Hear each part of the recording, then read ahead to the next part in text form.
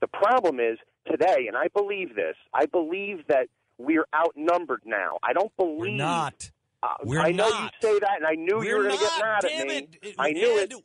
We're not outnumbered. We are not outnumbered. You look. You know what? I got You know what? Every I am, uh, look, here's the thing. You, Ed, Ed, you give me a month to prove this. I am going to find a way to prove this to you. I, I, I you know what, Stu? I'm going to, I'm going to give you, Ed. You hang on the phone. I want to get a phone number from you.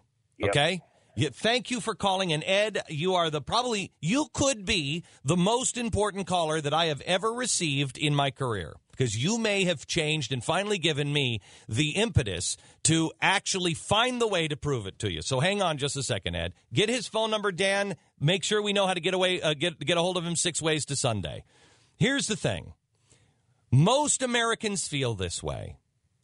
And I've been saying to you for the last couple of weeks, it's 15%, maybe 20% on each side.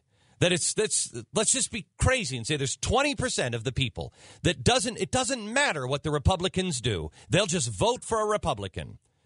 And it, it, it just doesn't matter. They will vote for a Republican. And there's maybe 20% on the other side that will just vote for a Democrat. And it doesn't matter. They're not they're not tethered to any principles whatsoever. That leaves 60% of us that are. We are in the whole spectrum. There are people that vehemently disagree with me, but they are tethered to principles. Did, did anybody see the TV show last night? I actually have respect. I can't believe I'm saying this for Dennis Kucinich. Dennis Kucinich was on last night, and I'm like, I don't want to have Dennis Kucinich on. I mean, it's just going to be, it's just going to be a yelling war. He's just going to be. That's not what it was. In fact, it was very entertaining. It was actually very funny in a strange sort of way. And I said to him halfway, look, Dennis, I disagree with you 110%. But at least you actually believe in something. And let me tell you something. The majority of people do. They just don't know how to express it. They just haven't done the hard work of thinking it all the way through because everybody has made life too complex. Everybody's telling them you don't matter, you don't count, it doesn't make a difference what you say, you'll never understand it. Don't worry, we'll take care of it. Most people have just, they're tired. They're tired. They're tired of fighting for what they. Why are you so pissed at the Republicans? Seriously, why are you so pissed? May I vocalize what I think you're thinking right now? Think about why are you pissed? I mean, not just disappointed, pissed. I believe what you're thinking right now is the same thing, reason, reason why I'm pissed. Because I invested a lot of my time and my energy. I, I never went campaigning for anybody. I never, I never put campaign signs out. I never made calls for anybody. But I defended these people. I, I, I would be at parties with, with people, and people would come up and say, "Oh, your guy is this," blah blah blah blah blah blah, and I defend them. I stood up for them when it wasn't easy to stand up.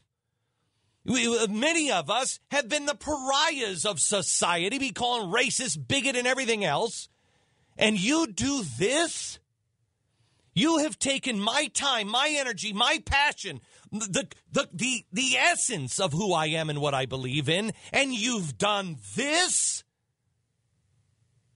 That's why I'm so pissed. How dare you? I believe in something. You don't. My gosh.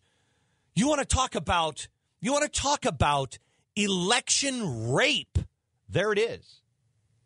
I think many of us feel as though we have been raped. Our time has been raped. Our values have been raped. We have been in bed with a, a serial rapist. He'll sleep with anybody just for what satisfies him. That's why I'm angry. But see, there are more of us, and there will soon be many Democrats if they are honest. if they really truly believe in if and here's here's who you're not surrounded by, or here's who you're not feeling and you're not realizing is standing by you that you are surrounded by anyone who actually listened to their grandparents anybody who actually listened to their grandparents knows what this country is knows who we are as americans wants deep inside of themselves, wants that to be true again. Why did we vote for change? We went like zombies to somebody saying change who didn't really define it because we know what that vision of America is. It's not socialist. It's an America that is good, is kind, is fair, is gentle. That's what we all learned from our grandparents. The same grandparents that stood up against socialism, who stood up against communism, who fought it, who did far more than we will ever be asked to do, unless we don't stand up now. If you don't, if you unplug, if you don't stand up, if you don't square your shoulders and say, damn it, I got to do it again. Do you think I really want to do this? Do you think I want to be this guy? Do you think I want to be the guy who was called crazy for two years, was told by almost every damn program director in my chain, shut up or we're going to cancel the show? Do you think I want to be the guy that watched my ratings go down for two years? because of what I was saying was coming in the perfect storm. Do you think I want to be the guy who gets calls from people in this industry that I respect? Really, truly respect and say, Glenn, you're killing yourself. What are you doing? Stop doing this. Do you think I want to do that? Do you think I get up every morning and say, gee, another fun day at the factory? You think you've had enough of looking at it? Try doing it for your freaking job. So, why do I do it? It's the same reason why I now do not say to a serviceman when I say thank you for your service and they look me in the eye and say thank you for yours. I used to always say, no, I have not served. You know what? This is my service. It is time for you to serve without a uniform. You are the protector of liberty. You are the protector of freedom. It is on your shoulders, not the military. It is on your shoulders. This is your country, damn it. This is my country.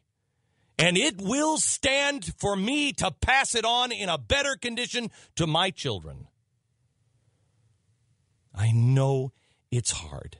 I know you're tired, but I will prove it to you. You give me a couple of weeks and I will find a way to prove it to you that you are not alone, that there are more of us than them. You just don't hear from your kind of voice because nobody wants to give them any airtime. Because you're ordinary. If you were alone, you would be heard because you'd be unique. You'd stand out. Nobody covers your story of being alone because you're ordinary. I know that's not evidence enough, but it's true.